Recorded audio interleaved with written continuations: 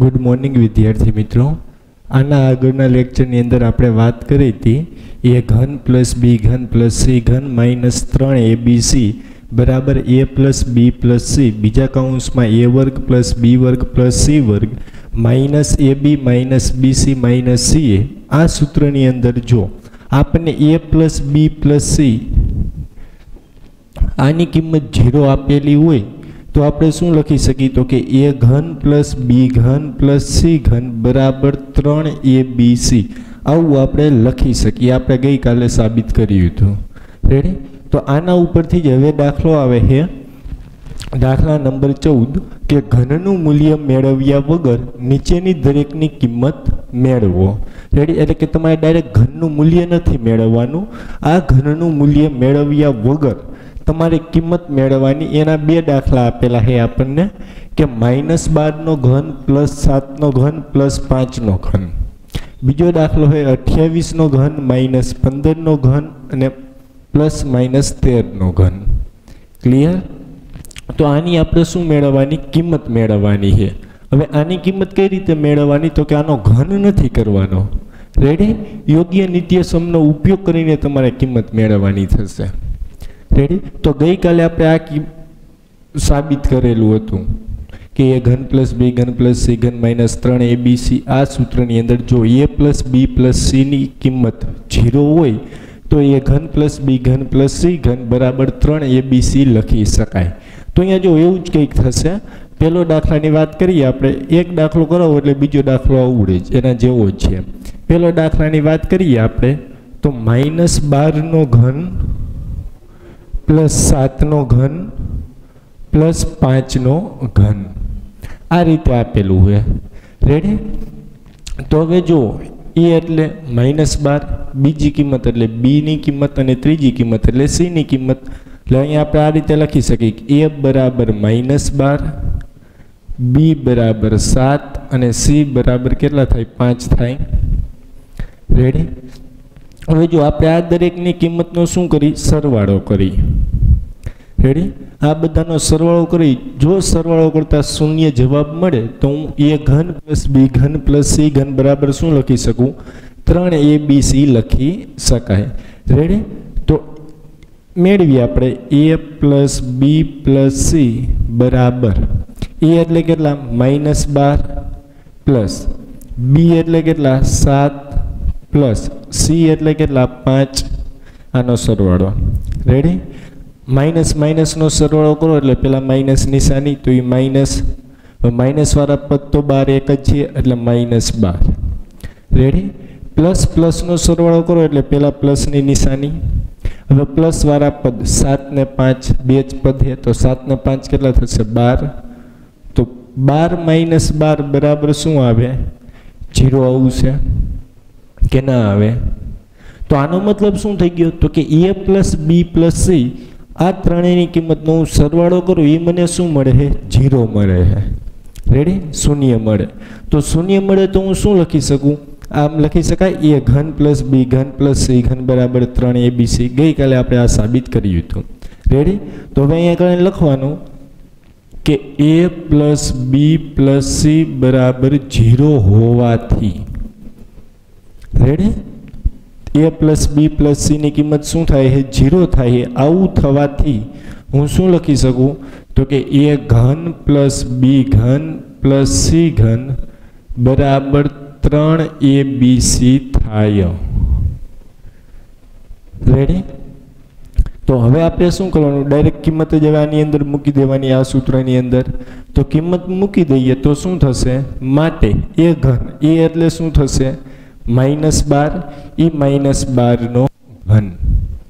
Plus બી ઘન એટલે કેટલા થશે? સાત, એટલે એ સાતનો ઘન, એટલે સાતનો ઘન. પ્લસ સી ઘન એટલે કેનો ઘન થશે? પાંચનો ઘન, એટલે એ પાંચનો ઘન. રેડી ઇક્વલ ટુ શું લખાય? તો કે ત્રણ એ બી સી આવું લખી શકાય? તો ત્રણના ત્રણ. એ એટલે કેટલા? માઇનસ બાર. ઇન્ટુ બી એટલે કેટલા? સાત. ઇન્ટુ સી એટલે કેટલા? પાંચ. એ પાંચ. આ બધાનો ગુણાકાર કરીએ હવે આપણે. તો અહીંયા જો માઇનસ નિશાની કેટલી વાર આવે છે? એક વાર. જો માઇનસ નિશાની એકી વાર આવે તો જવાબ શેમાં આવશે? માઇનસમાં. એટલે આનો જવાબ શેમાં આવશે માઇનસમાં. માઇનસ નિશાની એકવાર છે એટલા માટે તો માઇનસ આ બધાનો ગુણાકાર. બાર ગુણ્યા ત્રણ એટલે છત્રીસ. રેડી? અને સાત ગુણ્યા પાંચ એટલે પાંત્રીસ. આ બંનેનો ગુણાકાર. રેડી? માઇનસ નિશાની એકવાર એટલે જવાબ માઇનસમાં. હવે છત્રીસ ગુણ્યા પાંત્રીસ કરી. એટલે શું થશે? શૂન્ય. છતરી અઢાર. એક. નવ ને એક, દસ. ત્રીસ, ત્રણ, પંદર ને ત્રણ, અઢાર. જીરો, સોળ. બારસો સાહીઠ રેડી તો આ બારસો સાહીઠ કેવા આવશે માઇનસ રેડી કંઈ કરેલું નથી. ગુણાકાર કરેલો હે. ગુણાકાર તો આવડે ને કરતા. કે ના આવડે? ના આવડે તો નાના ભાઈ બહેન પાસે શીખી લેવું. રેડી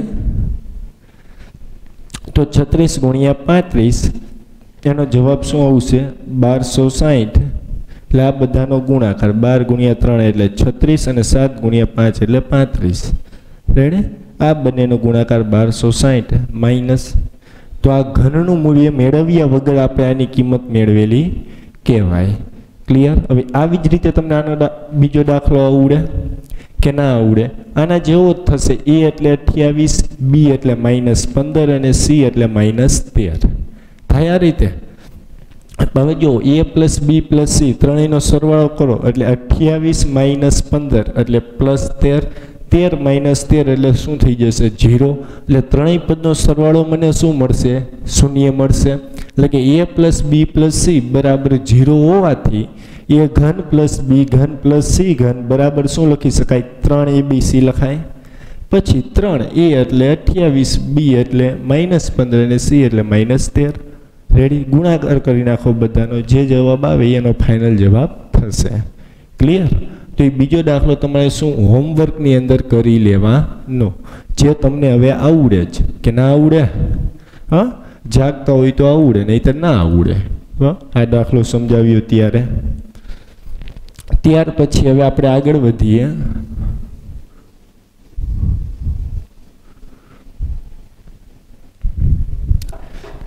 ત્યાર પછી પંદરમો દાખલો હોય નીચે લંબચોરસના ક્ષેત્રફળ દર્શાવેલ છે.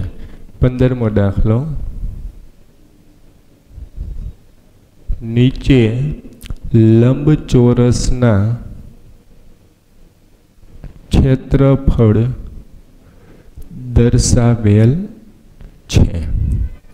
રેડે તો તેમની સંભવિત લંબાઈ અને પહોળાઈ મેળવો. તેમની સંભવિત લંબાઈ અને પહોળાઈ મેળવો.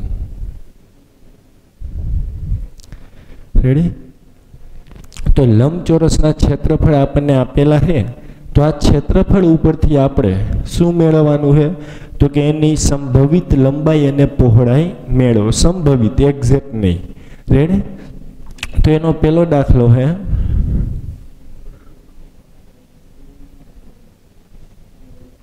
ક્ષેત્રફળ આપેલું છે આપણને પચીસ એનો ઘન.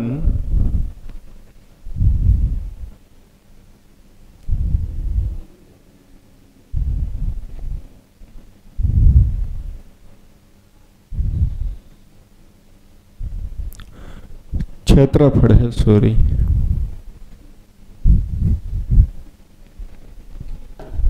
ક્ષેત્રફળ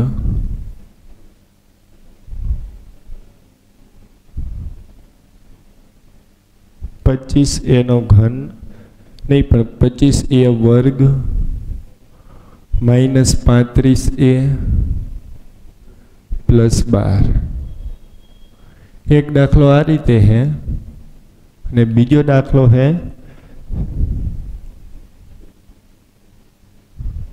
ક્ષેત્રફળ પાંત્રીસ વાયનો વર્ગ, પ્લસ તેર વાય માઇનસ બાર રેડી તો આ આપણને ક્ષેત્રફળની એક પદાવલી આપેલી છે. રેડી તો આ આના ઉપરથી તમારે શું મેળવવાનું છે? તો કે લંબચોરસની સંભવિત લંબાઈ અને પહોળાઈ મેળવવાની. રેડી તો હવે લંબચોરસનું ક્ષેત્રફળ, એનું સૂત્ર આપણને પહેલાં તો ખ્યાલ હોવો જોઈએ. લંબચોરસનું ક્ષેત્રફળ મેળવવાનું સૂત્ર શું હતું? તો લંબચોરસનું ક્ષેત્રફળ મેળવવાનું સૂત્ર શું? લંબાઈ ગુણ્યા પહોળાઈ ધોરણ પાંચ છ થી તમે ભણતા હો કે લંબચોરસનું ક્ષેત્રફળ મેળવવાનું સૂત્ર લંબાઈ ગુણ્યા પહોળાઈ થાય. રેડી તો એ ઘણા બધાને ખબર નથી હોતી કે લંબચોરસનું ક્ષેત્રફળ મેળવવાનું સૂત્ર શું થાય. રેડી એ ખાસ ધ્યાન રાખો, દરેકે દરેક સૂત્ર આવડવા જોઈએ. તેની અંદર પેલા દાખલાની વાત કરીએ આપણે. તો કે ક્ષેત્રફળ, લંબચોરસનું ક્ષેત્રફળ રેડી? કાંઈ ક્ષેત્રફળ તો ત્રિકોણ નહીં હોય, ચોરસ નહીં હોય, પણ આપણને જે આપેલું કેનું ક્ષેત્રફળ છે લંબચોરસનું, તો લંબચોરસનું ક્ષેત્રફળ આપણને આપેલું છે પચીસ એનો વર્ગ માઇનસ પાંત્રીસ એ પ્લસ બાર. રેડી? તો સૌથી પહેલા આપણે લંબચોરસનું ક્ષેત્રફળનું સૂત્ર લખી લઈએ. કે લંબચોરસનું ક્ષેત્રફળ બરાબર શું લખાય? તો કે લંબાઈ ગુણ્યા પહોળાઈ. રેડી તો હવે આપણે આ જે ક્ષેત્રફળ આપેલું છે, જો આ ક્ષેત્રફળને હું અવયવ પાડી દઉં. રેડી આને હું શું પાડી દઉં? અવયવ પાડી દઉં. રેડી અને એ જે અવયવ મળશે આપણને, એ અવયવ શું થશે? લંબચોરસની સંભવિત લંબાઈ અને પહોળાઈ થશે. શા માટે? આપણે આને શું આ લંબાઈ એ લંબચોરસના ક્ષેત્રફળનું શું કહેવાય? અવયવ થશે. એવી જ રીતે પહોળાઈ જે હોય, એ પણ લંબચોરસના ક્ષેત્રફળનું શું થાય? અવયવ જ થાય. રેડી એટલે અવયવને આપણે શું? લંબચોરસના ક્ષેત્રફળના અવયવને આપણે ગુણાકાર સ્વરૂપે લખ્યા. તો આને આપણે ગુણાકાર સ્વરૂપે લખવું મતલબ શું થશે? આના અવયવ પાડવાના રેડી તો આ પદાવલી જે હા પદાવલીને આપણે શું કરી? અવયવ પાડી રેડી તો એના અવયવ પાડતા તમને આવડે. આપણે આગળના લેક્ચરની અંદર વાત કરેલી જ છે. રેડી અને ધોરણ સાતમાં તમે અવયવીકરણ, એક અવયવીકરણ બે ભણી ગયા. એની અંદર પણ આવતું તો એવું જ કંઈક છે. તો લખીએ આપણે કે લંબચોરસનું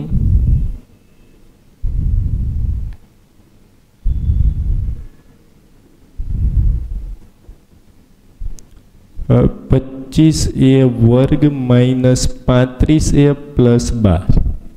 રેડી હવે જો દ્વિઘાત બહુપદી થશે, દ્વિઘાત બહુપદીના અવયવ કઈ રીતે પડે? તો કે પ્રથમ અને અંતિમ પદનો ગુણાકાર મધ્યમ પદના સરવાળા જેટલો આવવો પડે કે નહીં? તો અહીંયા જો પ્રથમ અને અંતિમ પદનો ગુણાકાર કરો. પ્રથમ પદ શું છે? પચીસ એ વર્ગ. એ પચીસ એ વર્ગ કોની સાથે ગુણાય? બાર સાથે. આ બેનો ગુણાકાર. શૂન્ય પાંચ બે, દસ, એક, ચાર, પાંચ. ત્રણસો. તો ગુણાકાર આપણે શું જોઈએ? ત્રણસો ના એ વર્ગ તો હે જ એટલે ત્રણસો એ વર્ગ. ગુણાકાર આપણે જોઈએ ત્રણસો એ વર્ગ જેટલો અને સરવાળો કેટલો જોઈએ? તો કે માઇનસ પાંત્રીસ એ જેટલો. રેડી એટલે આ માઇનસ પાંત્રીસ એના એવી રીતે ભાગલા પાડો, પાંત્રીસ એના, કે જેનો ગુણાકાર શું થાય? ત્રણસો એ વર્ગ થાય. રેડી અને સરવાળો કેટલો થવો જોઈએ? પાંત્રીસ થવો જોઈએ. માઇનસ પાંત્રીસ. તો પાંત્રીસના એવા બે ભાગલા પાડો. તો વિચારો, શું લખી શકાય? તો કે ત્રણસો હે. રેડી? ન ખબર પડે તો આપણે શું કરવાના? આના અવયવ આ રીતે વિચારી લેવાના. ત્રણસો હોય. રેડી? જો ડાયરેક્ટ ખ્યાલ આવી જાય તો મને કંઈ પ્રોબ્લેમ નથી. પણ જો ન ખ્યાલ આવે તો આપણે કઈ રીતે વિચારવાનું? તો કે ત્રણસો એ ત્રણસો અહીંયા લખી નાખો. ભાગ કેટલા? બે હાલે એકસો પચાસ. હવે કેટલા એ? તો કે બે લઈએ એટલે શું થાય? બે સત્તાને ચૌદ, એક વધે બે પંચાને દસ. પાંચે, પાંચ એકા પાંચ? પંદર પાંચે ત્રણ. ત્રણે એક. થાય આ રીતે. હવે શું કરવાનું? તો કે આ બધાનો ગુણાકાર કરો, ક્રમને અવગણીને આડાવડા અને આપણે શું? સરવાળો લાવવાનો માઇનસ પાંત્રીસ એ જેટલો. તો શું ભાગલા પડે? જુઓ તમે. તો કે આ બે દુ ચાર અને ચાર પંચા વીસ. આટલાનો ગુણાકાર શું થાય છે વીસ થાય છે અને આ પાંચ ગુણ્યા ત્રણ એટલે કેટલા થાય? પંદર. રેડી આ બંનેનો તમે ગુણાકાર કરો. મને શું મળશે? ત્રણસો મળશે. અને આ બંનેનો હું સરવાળો કરું તો મને કેટલો મળશે? પાંત્રીસ મળે. વીસ અને પંદર એટલે પાંત્રીસ. કે ન મળે? હવે આપણે પાંત્રીસ કેવા જોઈએ? તો કે માઇનસ પાંત્રીસ જોઈએ. રેડી તો માઇનસ પાંત્રીસ લેવા માટે આપણે શું કરવું પડે? તો કે આ બંને પદની નિશાની કેવી કરવી પડે? માઇનસ, જો બંને પદની નિશાની હું માઇનસ કરી નાખું, માઇનસ વીસ અને માઇનસ પંદર. રેડી અને પાછળ એ તો આવશે જ. તો આ બંનેનો હું સરવાળો કરું તો મને શું મળશે? માઇનસ પાંત્રીસ એ મળે. અને ગુણાકાર કરું તો એ શું મળશે? ત્રણસો એનો વર્ગ. અને એ પણ કેવા? પ્લસ. શા માટે? માઇનસ નિશાની બે વાર થાય એટલે જવાબ પ્લસમાં આવે. તો આપણને ભાગલા મળી ગયા. ભાગલા શું પડે? તો કે માઇનસ વીસ અને માઇનસ પંદર. રેડી તો જો ખબર ન પડે તો આપણે આ રીતે અવયવ પાડીને વિચારી લેવાનું. આડાવડા ગુણાકાર કરી લેવાના એટલે તમને કિંમત મળી જશે. રેડી તમારે જે ભાગલા પાડવાના હોય તે. આવી ગયો ખ્યાલ. તો હવે એ કિંમત અહીંયા લખી નાખીએ એટલે શું થશે? પચીસ એ વર્ગ એમણે. આ માઇનસ પાંત્રીસ એની જગ્યાએ શું લખવાનું? તો કે માઇનસ વીસ એ માઇનસ પંદર એ. રેડી પ્લસ બારના બાર. હવે જો આ બે પદમાંથી સામાન્ય શું નીકળે? પાંચ સામાન્ય નીકળે. તો પાંચે સામાન્ય લઈ લઉં. તો વધે શું? પાંચ ગુણ્યા પાંચ એટલે પચીસ. એમાંથી પાંચ નીકળી ગયા એટલે પાંચ વધે. એ એકવાર આવી ગયો એટલે એકવાર એ વધે. રેડી? માઇનસ પાંચ નીકળી ગયા એટલે કેટલા વધે? ચાર, પાંચ ચોકવીસ થાય એટલે એ સામાન્ય આવી ગયા. હવે આ બે પદમાંથી શું સામાન્ય નીકળશે? તો કે માઇનસ ત્રણ. નીકળે માઇનસ ત્રણ સામાન્ય. તો અહીંયા શું વધે? પાંચ તરી પંદર, એટલે પાંચ માઇનસ નીકળે એટલે આ પદ કેવું થઈ જશે? પ્લસ અને એ. હવે માઇનસ સામાન્ય લીધા, હવે આ પદ પ્લસ એટલે એ પદ કેવું થઈ જશે? માઇનસ ત્રણ ચોક બાર થાય, એમાંથી ત્રણ સામાન્ય નીકળી ગયા, એટલે વધે કોણ? ચાર. એટલે પાંચ એ માઇનસ ચાર. થશે આ રીતે. હવે આ બંને પદમાંથી સામાન્ય શું નીકળશે? પાંચ માઇનસ ચાર. તો એ પાંચ માઇનસ ચાર સામાન્ય લઈ લઈ રેડી અહીંયા શું વધે? પાંચે અહીંયા શું વધે? માઇનસ ત્રણ. તો જો આપણને જે પદાવલી આપેલી છે, એને આપણે અવયવ સ્વરૂપે લખી નાખીએ. રેડી? એટલે આ જે અવયવ સ્વરૂપે લખેલી છે, આમાં એક શું થશે? લંબાઈ થશે ને એક શું થશે? પહોળાઈ થશે. રેડી? તો જનરલી આપણે શું લેતા હોય કે લંબચોરસની અંદર લંબાઈ મોટી હોય અને પહોળાઈ નાની હોય. જનરલી આપણે આવું લેતા હોય. તો આમાં આપણે સંભવિત લંબાઈ શું થઈ જશે? પાંચે માઇનસ ત્રણ અને પાંચે માઇનસ ચાર એ શું થશે? પહોળાઈ કારણ કે આ કિંમત કેવી થશે? નાની થશે. આ કિંમત કેવી થાય? મોટી. ખ્યાલ આવે ને આ કિંમત નાની કેમ થાય? તો કે એ ન ખબર પડે તો આપણે શું કરવાનું? તો કે જે અચળાંક છે એ, એની જગ્યાએ કોઈ પણ કિંમત ધારી લો. માની લો કે મેં એક ધારી લીધી. તો પાંચ ગુણ્યા એટલે પાંચ એકા પાંચ પાંચ માઇનસ ત્રણ એટલે બે વધે તો આની કિંમત બે મળે. અહીંયા શું થાય? એક ધારી લો તો પાંચ એકા પાંચ પાંચ માઇનસ ચાર એટલે એક. તો આ મોટા એ ને, આની કિંમત બે આવી નાની કિંમત એક આવી રેડી તો આ શું થશે? મોટી, એટલે લખી નાખવાનું આમ. આ જો એક્ઝેક્ટ ના કહી શકાય. આપણે આ જે કિંમત મેળવી, લંબાઈ અને પહોળાઈ એ સંભવિત કહેવાય. રેડી તો આમ, લંબચોરસની સંભવિત લંબાઈ અને પહોળાઈ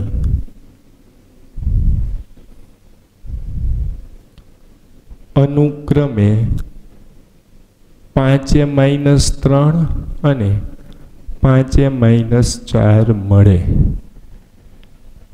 ક્લિયર તો એવી જ રીતે હવે આ બીજો દાખલો તમને આવડે કે ના આવડે? રેડી આ જ રીતે દાખલો ગણવાનો. કઈ જ ફેર આવશે ને આના તમારે અવયવ ઉપાડવાના. રેડી પાંત્રીસ વાય વર્ગ પ્લસ તેર વાય માઇનસ બાર. આ બંનેનો ગુણાકાર પાંત્રીસ વાય વર્ગ માઇનસ બાર. બંનેનો જે ગુણાકાર આવે એ તેર વાય સરવાળો હોવો જોઈએ આ બંનેનો જે ગુણાકાર આવે એટલો ગુણાકાર થવો જોઈએ એવી રીતે તમારે તેર વાયના ભાગલા પાડવાના. રેડી તો આવડે કે ના આવડે? છતાંય તમને કહી દઉં આના ભાગલા શું પડશે? તો કે અઠ્યાવીસ અને માઇનસ પંદર. રેડી એ ભાગલા પડશે. આ તો મેં તમને કહી દીધું, પણ આપણને ખબર પડવી જોઈએ. આપણે આપણી રીતે દાખલો ગણવાનો થાય. ટ્રાય કરી લેજો. બરાબર? આ દાખલો તમારે હોમવર્કની અંદર કરી લેવો. ત્યાર પછી હવે હવે દાખલા નંબર સોળ. આવડશે ને આ બીજો દાખલો? ક્લિયર દાખલા નંબર સોળ. નીચે લંબઘનના ઘનફળ દર્શાવેલ છે. તો તેમના શક્ય પરિણામ મેળવો. નીચે લંબઘનના ઘનફળ દર્શાવેલ છે.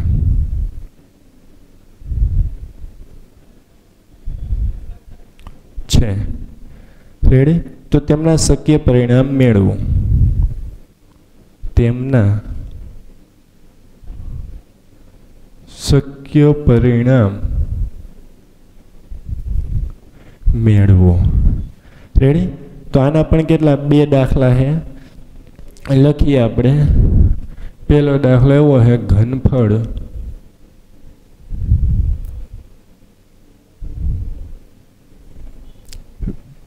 ત્રણ એક્સ વર્ગ માઇનસ બાર. બાર એક્સ અને બીજો દાખલો છે ઘનફળ બરાબર. બાર કે વાયનો વર્ગ. પ્લસ આઠ કે વાય માઇનસ પ્લસ આઠ કે વાય માઇનસ વીસ કે. રેડી જો આપણને ખબર હોવી જોઈએ કે લંબઘનનું ઘનફળનું સૂત્ર શું થાય? રેડી ઘનફળ મેળવવાનું સૂત્ર જે ધોરણ આઠની અંદર તમે ભણી ગયા હો. રેડી અને નવમાની અંદર પણ આવે છે પૃષ્ઠફળ અને ઘનફળ ચેપ્ટરની અંદર. રેડી તો લંબઘનનું ઘનફળ મેળવવાનું સૂત્ર થાય લંબાઈ ગુણ્યા પહોળાઈ ગુણ્યા ઊંચાઈ. રેડી તો આપણે આના ઉપરથી એના શક્ય પરિણામ મેળવવાના. કેના તો કે લંબઘનના. રેડ તેનો મતલબ શું થઈ ગયો? તો કે લંબઘનનું ઘનફળ મેળવવાનું સૂત્ર શું છે લંબાઈ ગુણ્યા પહોળાઈ ગુણ્યા ઊંચાઈ. રેડ એટલે આપણને જે ઘનફળ આપેલું છે એ ઘનફળને આપણે શું કરવાના? અવયવ ઉપાડવાના. અવયવ પાડવાથી જે કિંમત મળે એ આપણને શું મળશે? સંભવિત લંબાઈ, પહોળાઈ અને ઊંચાઈ મળશે. ક્લિયર તો જોવી આપણે આગળ દાખલો.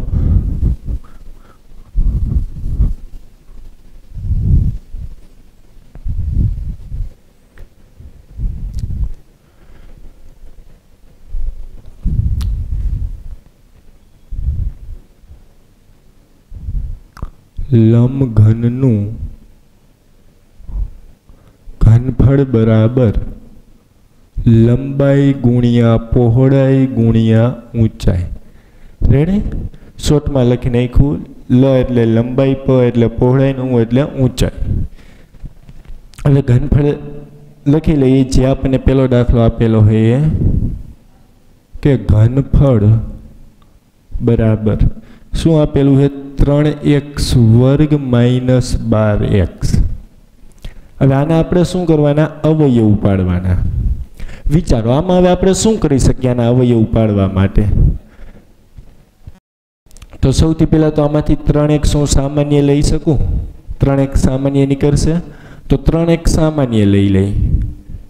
રેડી તો વધે શું? અહીંયાથી ત્રણ અને એક સામાન્ય નીકળી ગયો એટલે એક્સ વધે માઇનસ ત્રણ સામાન્ય નીકળી ગયા એટલે ત્રણ ચોક બાઠાઈમાંથી ત્રણ નીકળી ગયા એટલે ચાર વધે અને એક્સ નીકળી ગયા એટલે ત્રણ એક્સ કૌંસમાં એક્સ માઇનસ ચાર. આવું થશે. તો આનો મતલબ શું થઈ ગયો? તો કે ત્રણ ગુણ્યા એક્સ ગુણ્યા એક્સ માઇનસ ચાર. થાય આ રીતે? તો આ શું થઈ ગઈ? એક લંબાઈ થઈ, એક પહોળાઈ થઈ ને એક શું થઈ એની ઊંચાઈ થઈ. ક્લિયર? તો આમ આપણે લખી શકીએ કે આમ લંઘનની સંભવિત કિંમતો જે આપણને મળે, એમાંની એક કિંમત ત્રણ એક્સ અને એક્સ માઇનસ ચાર મળે. એવું જરૂરી નહીં કે આ જ મળે. આ સંભવિત છે, અંદાજિત છે. ક્લિયર તો આવી ગયો ખ્યાલ. તો લખવાનું આમ. લંઘન ના શક્ય પરિણામો પૈકી એક. એક પરિણામ ત્રણ એક્સ અને એક્સ માઇનસ ચાર મળે. રેડી લંબાઈ પહોળાઈ અને ઊંચાઈ શું મળે? લંબાઈ ત્રણ પહોળાઈ એક્સ અને ઊંચાઈ એક્સ માઇનસ ચાર. સંભવિત. તો આમ લંબઘનના શક્ય પરિણામો પૈકી એક પરિણામ ત્રણ એક્સ અને એક્સ માઇનસ ચાર મળે. રેડી અહીંયા જો આપણે એક નોંધ કરીને લખી લઈએ. કે આ તો એક શક્ય પરિણામ મળ્યા હવે તમને બીજા પણ શક્ય પરિણામ મળી શકે. તો લખો કે લંબઘનના બીજે બીજા પરિણામો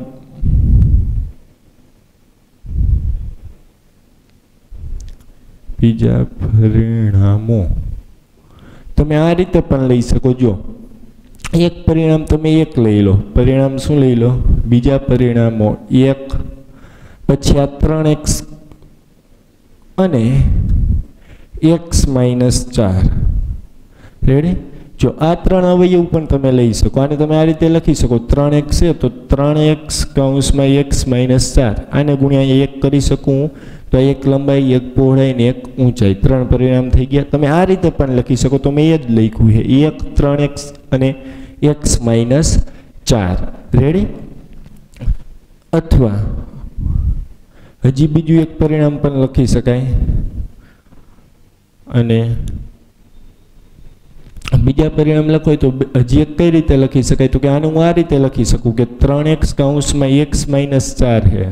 રેડી આને હું શું કરી નાખું? એક ગુણ્યા ત્રણ એક્સ કાઉન્સમાં એક્સ માઇનસ ચાર છે. રેડી આ એક એમ ને આ ત્રણનું અંદર ગુણાકાર સ્વરૂપે જવા દઉં. એટલે એક ગુણ્યા એક્સ અને ત્રણ આની સાથે ગુણાય એટલે શું થાય? ત્રણ એક્સ માઇનસ ત્રણ ચોક બાર. તો એક પરિણામ શું મળે? એક, એક્સ અને ત્રણ એક્સ માઇનસ બાર. અને એક, એક્સ અને ત્રણ એક્સ માઇનસ બાર. પણ તેના પરિણામ થાય. પરિણામ કે પરિમાણ જે કોતે ક્લિયર તો આ બધી શું સંભવિત કિંમતો કહેવાય. એક્ઝેક્ટ આપણે કહી શકીએ. ને એટલે નોંધ કરીને મેં કહી દઉં અહીંયા મેં જે દાખલો ગણાવ્યો, એ દાખલો મેં તમને આ રીતે કરાયો. કે આમાંથી ત્રણ એક સામાન્ય લઈ લો એક્સ માઇનસ ચાર, આમાંથી ત્રણ એક્સ અને એક્સ માઇનસ ચાર. આ ત્રણેય શું થયા? લંબઘનના શક્ય પરિણામ થયા. હવે ઘણા આને આ રીતે પણ લખી શકે. મેં તમને સમજાવ્યું કે આને એક ગુણ્યા ત્રણ એક્સ અને એક્સ માઇનસ ચાર. રેડી તો એક ત્રણ એક્સ અને એક્સ માઇનસ ચાર એ પણ શું થાય? લંબઘનના શક્ય પરિણામ.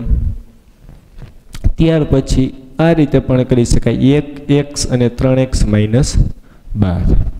ક્લિયર તો હવે આવી જ રીતે આના પછીનો બીજો દાખલો તમને આવડે.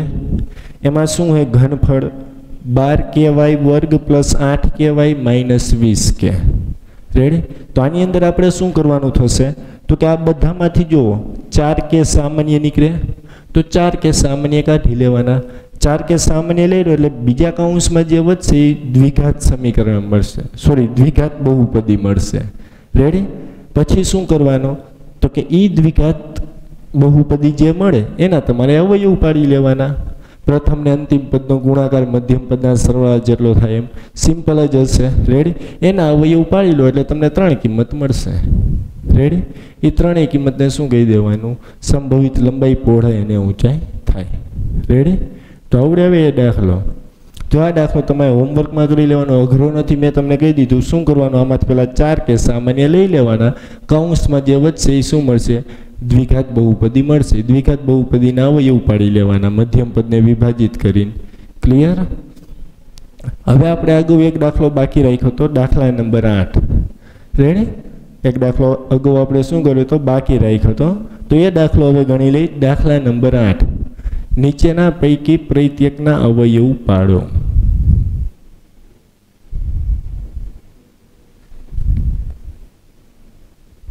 ના.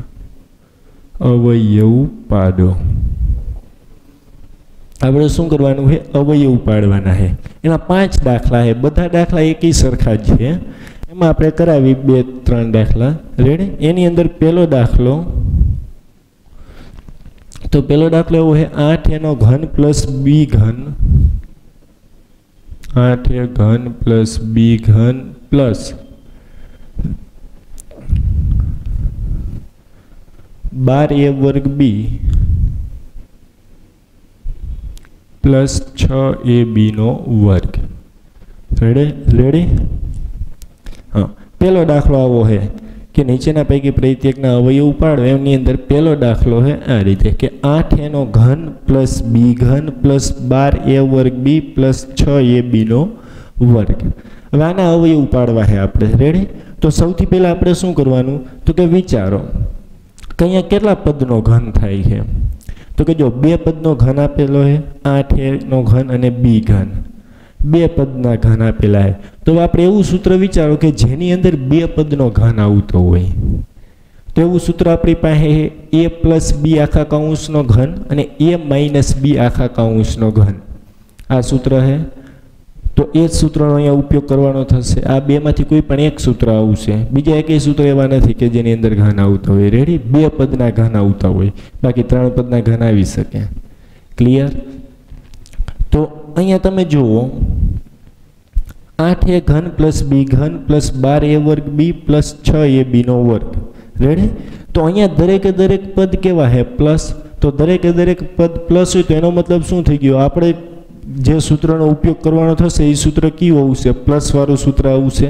રેડી તો ખ્યાલ આવી ગયો કયા સૂત્રનો ઉપયોગ કરવાનો થાય. એ પ્લસ બી આખા કાઉન્સના ઘનવાળું સૂત્ર શા માટે? તો કે એમાં બે પદનો ઘન આવે ને આપણે અહીંયા બે પદનો ઘન જોઈએ જો. રેડી તો એ સૂત્ર ઉપરથી વાત કરીએ, એટલે શું થશે? તો કે એ પ્લસ બી આખા કાઉન્સનો ઘન બરાબર એ ઘન પ્લસ બી ઘન પ્લસ ત્રણ એ વર્ગ બી પ્લસ ત્રણ એ બીનો વર્ગ. આના પરથી. ખ્યાલ હે ના સૂત્ર? કે ભૂલી ગયા? હા, સૂત્ર બધા યાદ રાખવાના. રેડી પછી આમાંથી તમે ત્રણ એ બી સામાન્ય લઈ લો તો સૂત્ર શું બની જાય એ ઘન પ્લસ બી ઘન પ્લસ ત્રણ એ બી કાઉન્સમાં એ પ્લસ બી.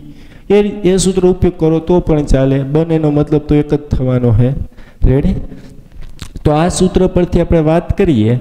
તો હવે જો આને આપણે કેને, આપણને જે પદાવલી આપેલી છે, એની સાથે આપણે સરખાવી, જેથી મને એ અને બીની કિંમત મળી જાય. રેડી તો આ પદાવલીને તમે આની સાથે સરખાવો. તમારે જમણી બાજુ સરખાવવાની થશે. શા માટે? આ બાજુ ચાર પદ છે ચાર પદ આપણે જમણી બાજુ આવે છે. રેડી તો સરખાવી તો શું થશે? જુઓ. એ ઘન બરાબર શું થાય? તો કે અહીંયા જોવી પહેલાં, એ ઘન બરાબર શું થશે? એ ઘનની જગ્યાએ શું છે? આઠ એનો ઘન બંને બાજુ પેલા ડાયરેક્ટ ઘન ઘન તો ઉઠશે નહીં. આપણે સૂત્ર જો અહીંયા એ બી આવે એટલે અહીંયા સૂત્રમાં આપણે એ ડેશ બી ડેશ કરી નાખી. A dash B dash ready એટલે શું? થોડાક અલગ પડી જાય. તો અહીંયા કણે એ ડેશનો ઘન. બરાબર શું છે આઠ એનો ઘન છે તો ડાયરેક્ટ બંને બાજુ ઘન તો ઉઠશે નહીં. શા માટે? તો કે પહેલાં આ આઠને મારે ઘન સ્વરૂપે લખવા પડે કે આઠને હું કઈ સંખ્યાનો ઘન લખી શકું? બેનો ઘન લખી શકાય કે ના લખી શકાય? તો આઠને હું લખી નાખું, બેનો ઘન. એટલે બે એ આખા કાઉન્સનો ઘન, એટલે એ ડેશનો ઘન. બંને બાજુ ઘન ઘન ઉડી જશે, તો એ ડેશ બરાબર શું આવશે? Two A. કે ના આવે આવ્યો ખ્યાલ? તો એની કિંમત આપણને શું મળી ગઈ? ટુ એ. એ બરાબર. એ ડેશની કિંમત ટુ એ. રેડી? એવી જ રીતે બી ઘન બરાબર, બી ડેશ ઘન બરાબર શું છે? બી ઘન હે અહીંયા કણે. તો અહીંયા તો આગળ સહગુણક એક એટલે ડાયરેક્ટ ઘન ઘન ઉડી જશે. તો બી ડેશ બરાબર શું આવશે બી તો લખવાનું અહીંયા બી ડેશ બરાબર બી રેડી આવી ગયો ખ્યાલ અહીંયા સુધીનો. હવે કિંમત મૂકીએ આપણે. કે આપણને જે પદ આપેલું છે એ પેલા લખી નાખી કે આઠ એનો ઘન પ્લસ બી ઘન પ્લસ બાર એ વર્ગ બી પ્લસ છ એ બીનો વર્ગ. આના બરાબર.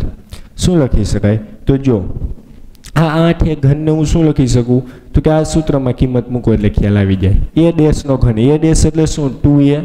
એ ટુ એનો ઘન. પ્લસ અહીંયા બી ડેશનો ઘન, બી ડેશ એટલે કેટલા? બી એટલે બીનો ઘન. રેડી પ્લસ અહીંયા લખું. પ્લસ ત્રણ એ વર્ગ બી. ત્રણ એ વર્ગ એટલે કેટલા? ટુ એ ઇન્ટુ બી એટલે કેટલા? બી રેડી પ્લસ ત્રણ એ ડેશ બી ડેશનો વર્ગ. પ્લસ ત્રણ એ ડેશ એટલે ટુ એ અને બી ડેશ એટલે બી થયા રીતે. હજુ આનો તમે સાદુરૂપ આપો એટલે આ પદ જ આવી જાય. ટુ એનો ઘન એટલે આઠ એ ઘન. બીનો ઘન એટલે બી ઘન. અહીંયા ત્રણ ગુણ્યા બે એટલે છ એ બી. સોરી અહીંયા આપણે એ વર્ગ બી આવે ને એટલે અહીંયા શું આવશે? વર્ગ આવશે. એ ડેશનો વર્ગ છે. જો તો વર્ગ આવે તો બેનો વર્ગ કેટલો થશે? ચાર ચાર ગુણ્યા ત્રણ એટલે બાર એ બી. તો આવી ગયું બાર એ બી. એ વર્ગ બી. રેડી એટલે આ વર્ગ એને લાગુ પડશે ને? પછી ત્રણ દુ છ એ ઇન્ટુ બીનો વર્ગ. જો અહીંયા બી વર્ગ એટલે અહીંયા શું આવશે? વર્ગ બી ડેશનો વર્ગ એટલે. રેડી તો ત્રણ દુ છ એ બીનો વર્ગ. આવી જાય. તો આપણે જે કિંમત લખીએ કિંમત કેવી લખાણી છે? સાચી. હવે શું કરવાનું? તો કે આ કિંમત આપણે કેના બરાબર લખી? તો કે આ પદ બરાબર એની ડાબી બાજુ શું લખી શકાય? એ ડેશ પ્લસ બી ડેશનો ઘન. તો આનો મતલબ શું થઈ ગયો? તો કે એ ડેશ એ ડેશ એટલે શું? તો કે two A A two A plus B dash એટલે કેટલા? તો કે બી એ બી, એનો શું લખી શકાય? ઘન લખી શકાય. રેડી એટલે આનો મતલબ શું થઈ જાય? તો કે ટુ એ પ્લસ બીનો ત્રણ વખત ગુણાકાર. Two A plus B two A plus B અને ટુ એ પ્લસ બી. થાય આ રીતે? કે ના થાય? આવી ગયો ખ્યાલ? ચાલો, આમાં ના ખબર પડ્યું એ પૂછી લો. તો આના પાછળના હવે જે ચાર દાખલા હે. એ ચારે ચાર દાખલા આ રીતે જ આપેલા છે રેડી પણ આપણને ખબર પડવી જોઈએ કે કઈ રીતે આ દાખલા ગણવાના થાય. રેડી હજી કરાવું એકાદ બે દાખલા એટલે ખ્યાલ આવી જાય આપણને.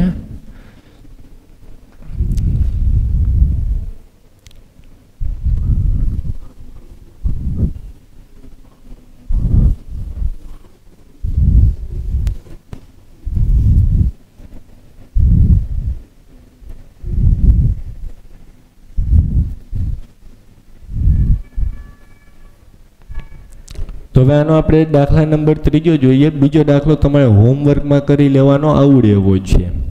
સત્યાવીસ માઇનસ એકસો પચીસ એનો ઘન માઇનસ એકસો પાંત્રીસ એ પ્લસ બસો પચીસ એનો વર્ગ. હવે આપણને આ પદાવલી આપેલી છે. રેડી હવે આ પદવલીને આપણે શું કરવાના છે અવયવ પાડવાના છે તો તમે જુઓ, પેલા એક રીતે આમ જુઓ, તો પહેલી વખત તમને દેખાય નહીં આમાં કયા સૂત્રોનો ઉપયોગ કરવાનો થાય. રેડી કારણ કે અહીંયા શું કરવું પડશે? તો કે થોડુંક વિસ્તરણ આપણે કરવું પડશે આને. કે અહીંયા આપણને સત્યાવીસ આપેલા છે આ સત્યાવીસનું કોઈ પણ સંખ્યાનો ઘન લખી શકું કે ના લખી શકાય? તો કે લખી શકાય કેનો ઘન લખી શકાય તો કે ત્રણનો ઘન લખાય, કે ન લખાય? તો આ પદ શું લખેલું છે? ત્રણનો ઘન છે, આ પદ ઘનવાળું હોય એટલે બે પદ ઘનવાળા હોય તો બે જ સૂત્ર આપણી પાસે. એ પ્લસ બી આખા કૌંસનો ઘન અથવા તો એ માઇનસ બી આખા કૌંસનો ઘનવાળું સૂત્ર. રેડી તો આમાં કયા સૂત્રનો ઉપયોગ થશે? માઇનસ એટલે માઇનસ વાળું સૂત્ર આવે.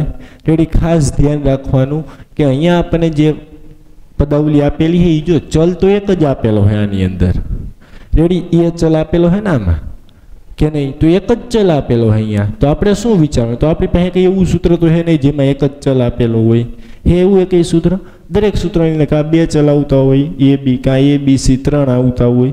રેડી? તો આપણે વિચારવાનું શું? તો કે આને આપણે કંઈક અલગ રીતે વિચારવાનું થાય કે જો અહીંયા કણે એ ઘન છે રેડી?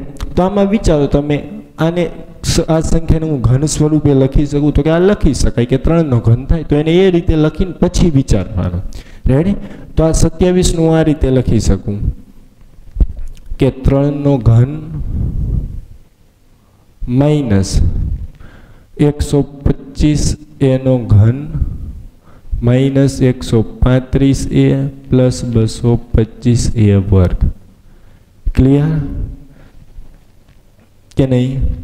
હવે આ કેના જેવું સૂત્ર થઈ ગયું? તો હવે હવે કહી કહી શકીએ બે પદનો ઘન છે એટલે શું થઈ જાય? તો કે એ માઇનસ બી, આખા કાઉન્સનો ઘન, એ ડેશ રાખીએ અહીંયા એ આવે એટલા માટે. તો આના બરાબર શું થાય? એ ડેશનો ઘન માઇનસ બી ઘન માઇનસ ત્રણ એ ડેશ વર્ગ બી પ્લસ ત્રણ એ ડેશ બીનો વર્ગ. આના પરથી. રેડી હવે જે કિંમત આપી, એ કિંમત પહેલાં લખી નાખીએ. કે ત્રણનો ઘન માઇનસ એકસો પચીસ. પહેલાં તો એ બીની કિંમત મેળવી લઈ રેડી તો કે જો, આને તમે આની સાથે સરખાવો. એટલે શું થઈ જશે? તો કે એ ડેશનો ઘન હે એટલે એ ડેશનો ઘન બરાબર ત્રણનો ઘન. રેડી બંને બાજુ ઘન ઘન ઉડી જશે. કે ના ઉડ્યા કૌંસમાં હોય એટલે? તો એ ડેશ બરાબર કેટલા મળશે? ત્રણ મળશે. તો અહીંયા આગળ શું થઈ જશે? એ ડેશની કિંમત ત્રણ. રેડી હવે બી ઘન. બી ઘન બરાબર શું લખી શકાય? તો કે એકસો પચીસ એનો ઘન. હજુ ડાયરેક્ટ ઘન ઘન ના ઉડે. શા માટે? તો કે આ એકસો પચીસને હું કઈ સંખ્યાનો ઘન લખી શકું એ વિચારવું પડે ને પહેલાં? તો એકસો પચીસને કેનો ઘન લખાય? તો કે પાંચનો ઘન લખાય? પાંચ ગુણ્યા પાંચ એટલે પચીસ પચીસ ગુણ્યા પાંચ એટલે એકસો પચીસ. તો પાંચ એનો ઘન. કેના બરાબર? બી ઘન બરાબર. ઘન ઘન ઉડી ગયા એટલે બી બરાબર કેટલા આવશે? પાંચ એ. રેડી તો અહીંયા કંઈ લખી નાખવાનું? બીની કિંમત આવશે પાંચ એ. આવી ગયો ખ્યાલ. હવે આ કિંમત આની આ સૂત્રની અંદર મૂકી દઈએ આપણે. એટલે શું થશે તો કે પહેલાં જે પદ આપ્યું એ લખી નાખીએ આપણે કે સત્યાવીસ માઇનસ એકસો પચીસ એ ઘન માઇનસ એકસો પાંત્રીસ એ પ્લસ બસો પચીસ એ વર્ગ. આના બરાબર શું લખીશું? આપણે અહીંયા ઇક્વલ ટુ લખવાનું. આપણે જગ્યા નથી, એટલે અહીંયા નીચે લખી સત્યાવીસ. હવે આને આપણે એ ડેશનો ઘન રેડી આમાં મૂકી કિંમત. તો એ ડેશ ઘન, એ ડેશ એટલે કેટલા? ત્રણ. એ ત્રણનો ઘન. માઇનસ બી ઘન બી ઘન એટલે કેનો ઘન? પાંચ એનો ઘન. અહીંયા પૂછ્યા માઇનસ ત્રણ. એ ડેશનો વર્ગ. એ ડેશ એટલે કેટલા? ત્રણ એનો વર્ગ એટલે ત્રણનો વર્ગ. ઇન્ટુ બી એટલે કેટલા? પાંચે. પ્લસ ત્રણ. એ ડેશ એટલે કેટલા? ત્રણ. ઇન્ટુ બી વર્ગ એટલે કેટલા? પાંચ એનો વર્ગ. ક્લિયર હવે તમે જો આનું સાદુરૂપ આપો એટલે તમને આ જ પદ મળી જાય. ત્રણનો ઘન સત્યાવીસ, પાંચ, એનો ઘન એકસો પચીસ, એ ઘન માઇનસના માઇનસ અહીંયા ત્રણનો વર્ગ નવ. નવ ગુણ્યા ત્રણ એટલે નવ તરી સત્યાવીસ ને સત્યાવીસ ગુણ્યા પાંચ એટલે એકસો પાંત્રીસ છે માઇનસ અને અહીંયા પાંચનો વર્ગ પચીસ પચીસ તરી પંચોતેર ને પંચોતેર ગુણ્યા ત્રણ એટલે બસો પચીસ. રેડી તો આ કેની કિંમત, કેના બરાબર લખ્યું આપણે? આની જગ્યા? તો આના ડાબી બાજુ શું લખી શકાય? એ ડેશ માઇનસ બીનો ઘન. તો એ ડેશ એ ડેશ એટલે કેટલા? ત્રણ માઇનસ બી એટલે કેટલા? પાંચ છે. આનો ઘન લખાય. તો આનો મતલબ શું થઈ ગયો? આમ લખી, લખો તો પણ ચાલે. પણ ઘન હે એટલે આપણે આ આધારને ત્રણ માઇનસ પાંચ અને ત્રણ વખત લખીએ. ત્રણ માઇનસ પાંચ ત્રણ માઇનસ પાંચ છે અને ત્રણ માઇનસ પાંચ છે. ક્લિયર આ એનો શું થશે? અવયવ થશે. આપણને જે પદાવલી આપેલા છે એ પદાવલીના. ક્લિયર અહીંયા સુધીનું? આવડે હવે આ પ્રકારના દાખલા કે ના આવડે? તો હવે આ પ્રકારના દાખલા પાછળ આપેલા છે આપણને. રેડી હજી ચોથો દાખલો છે, પાંચમો દાખલો છે. આ રીતે જ દરેકે દરેક દાખલા આવે તો એ દરેકે દરેક દાખલા હવે તમને આવડવા જોઈએ. ઘરે પ્રેક્ટિસ કરવાની, બરાબર? ના આવડે એવું બને જ નહીં. જો આપણે જાગતા હોય દાખલા ગણાવીએ ત્યારે, એટલે વાંધો આવે નહીં. પાંચ દાખલા એમાંથી બે દાખલા કરાયા. બે એક એક રીતના લઈ લીધા. હવે આ જ પ્રકારના દાખલા હશે. બરાબર? સૂત્ર આ જ આવશે. એ માઇનસ બી આખા કૌંસનો ઘન અથવા તો એ પ્લસ બી આખા કૌંસના ઘનવાળું સૂત્ર. રેડી તો અહીંયા આ ચેપ્ટર આપણે શું થાય સંપૂર્ણપણે પૂર્ણ. હવે કઈ વસ્તુ કે કઈ ટોપિક બાકી રહેતો નથી. આ આપણે એક ઉદાહરણ બાકી રાખ્યા છે કે સ્વાધ્યાય બે પોઈન્ટ ચાર અને બે પોઈન્ટ પાંચ વચ્ચે જેટલા ઉદાહરણ છે, એ દરેક ઉદાહરણ બાકી છે. પણ એ દરેકે દરેક ઉદાહરણ કયા છે? તો કે આખું આખું સ્વાધ્યાય જે બે પોઈન્ટ પાંચ છે, એમાં જે દરેક દાખલા આવ્યા એ દરેકે દરેક દાખલા ઉપર જ આધારિત બધા ઉદાહરણ છે. બે પોઈન્ટ ચાર અને બે પોઈન્ટ પાંચ વચ્ચે જે ઉદાહરણ છે, એ દરેકે દરેક ઉદાહરણ. ક્લિયર એટલે એ દરેકે દરેક ઉદાહરણ તમને આવડવા જોઈએ. એ ઘરે પ્રેક્ટિસ કરવાની, એક ઉદાહરણ એવું નહીં હોય જે તમને નહીં ખબર પડે. કે એક ઉદાહરણ એવું નહીં હોય કે કઈ રીતે કરી શકાય એ તમે જાણતા ના હોય. રેડી સ્વાધ્યાય બે પોઈન્ટ પાંચ આપણે આખું કરાવેલું છે. રેડી હા, અમુક દાખલા આપણે હોમવર્કમાં આપેલા હશે, જે એક સરખા આવતા હશે એ. હો કારણ કે અહીંયા વિડીયોમાં તો આપણે બધા દાખલા લેવાય નહીં. રેડી નહીં તો ચેપ્ટર ક્યારે પૂરું થાય. બાકી આ ક્લાસરૂમની અંદર આપણે દરેકે દરેક દાખલા લઈએ. દરેકે દરેક ઉદાહરણ પણ લઈએ છીએ. રેડી સરખા ઉદાહરણો એ તમને આપણે ક્લાસની અંદર ગણવા પણ આપી હોમવર્કમાં બાદ નહીં નહીં તો હોમવર્કમાં જ ગણવા આપી શું ઘરે જઈને તમે નવનીતમાં જ જોઈને ગણી લો. તો એ તો કરાય નહીં ને. તો આપણને આવડે કેટલું એ ખબર કઈ રીતે પડે? એટલે આપણે ક્લાસની અંદર દાખલા આપી ગણવા. બરાબર? એ ક્લાસરૂમની વાત છે અને આ વીડિયો રેકોર્ડની વાત છે. ક્લિયર તો અહીંયા આ ચેપ્ટર સંપૂર્ણપણે પૂર્ણ થાય છે. આના પછીના લેક્ચરની અંદર આપણે નવું ચેપ્ટર ચાલુ કરીશું. રેડી હવે એ ચેપ્ટર આપણે ભણવાનું થશે ચેપ્ટર નંબર ચાર. રેડી નમસ્કાર.